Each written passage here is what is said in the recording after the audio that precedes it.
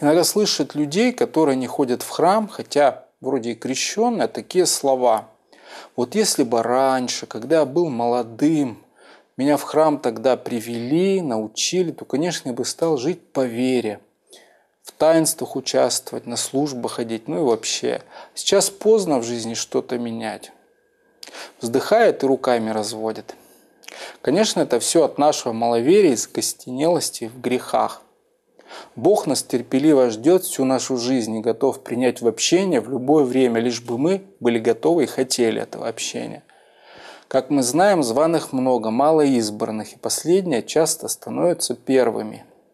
По этому поводу расскажу историю. Когда был в Пафнутием-Боровском монастыре, там у послушника Георгия, с которым мы разбирали старинные книги из монастырской библиотеки, случилась радость. Его дяди и тетя приняли решение в ближайшее время повенчаться.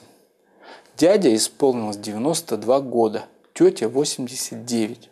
Простые советские ученые, жизнь отдавшие науке.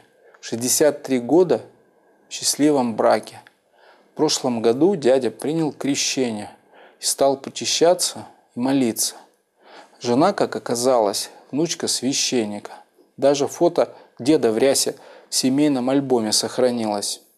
Теперь вот они решили повенчаться, чтобы по смерти вместе прийти ко Христу.